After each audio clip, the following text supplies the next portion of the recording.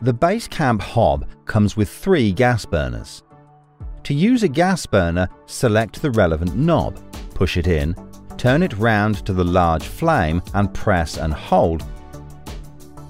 Once you see it light, keep holding the knob in for a few seconds more to let the thermocouple heat up. Then release and adjust the temperature to your needs. The oven and grill both operate in the same way. Simply push in the appropriate grill or oven knob, turn towards the large flame and press and hold the igniter until lit. Hold the knob in for a few seconds and then you can release. Whilst operating the grill, you need to keep the grill door open.